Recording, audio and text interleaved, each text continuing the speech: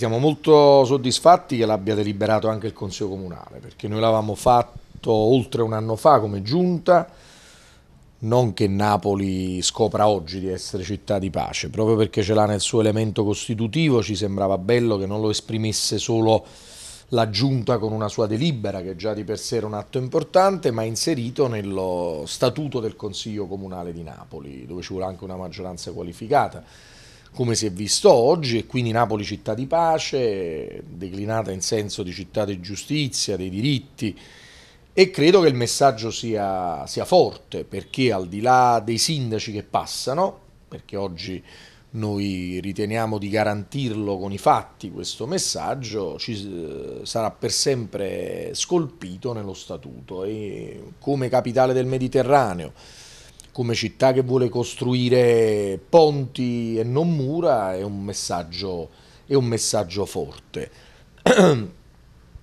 e qua mi fermo nella prima considerazione. Spiace che innanzitutto non ci sia stata l'unanimità, perché insomma, Napoli città di pace avrebbe meritato l'unanimità, al netto poi che ognuno fa le sue considerazioni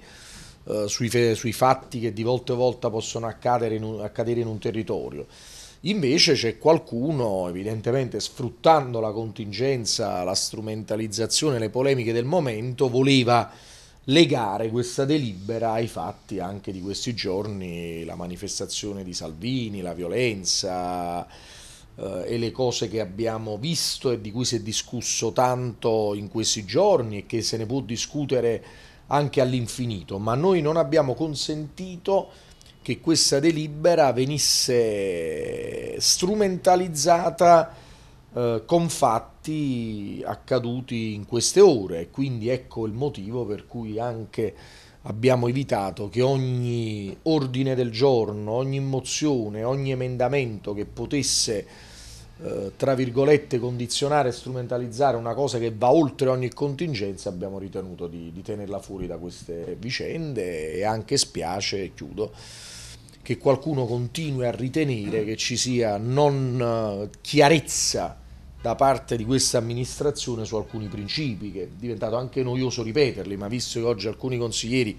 hanno tentato di strumentalizzare vicende contingenti con questa delibera, noi siamo, siamo stati, siamo e saremo sempre per la non violenza fisica, morale, psicologica e istituzionale e daremo sempre la solidarietà alle persone che sono vittime di qualsiasi tipo di violenza e non legandola come fa qualcuno alla contingenza del momento, evidentemente per fare battaglie di consenso politico su vicende che invece bisognerebbe volare un po' più alto.